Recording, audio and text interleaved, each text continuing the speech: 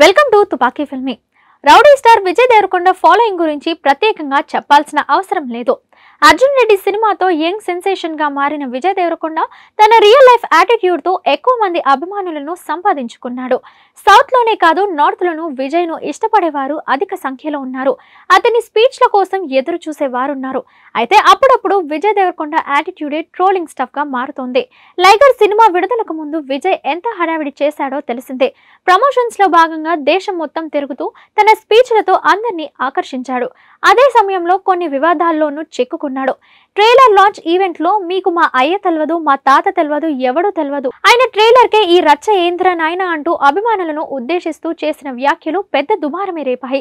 August ఇరవై ఐదున India మొత్తం షేక్ అవుతుందని థియేటర్స్ బ్లాస్ట్ అవుతాయని ఆగ్ లగాదెంగే అంటూ విజయ్ తనదైన శైలిలో స్టేట్మెంట్స్ ఇచ్చిన సంగతి తెలిసిందే. అయితే భారీ అంచనాలతో పాన్ ఇండియా స్థాయిలో విడుదలైన లైగర్ సినిమా బాక్స్ ఆఫీస్ వద్ద బిగ్గెస్ట్ డిజాస్టర్గా నిలిచింది. విజయ్ దేవరకొండ జడ్జ్మెంట్ని ప్రశ్నార్థకారంగా మారింది.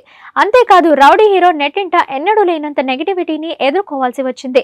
లైగర్ సినిమా హిట్ అయి ఉంటే పరిస్థితి ఎలా ఉండేదో తెలియదు కానీ ఇది ఫెయిలియర్గా నిలవడంతో విజయ్ దేవరకొండపై సోషల్ మీడియాలో విపరీతంగా ట్రోల్స్ వచ్చాయి.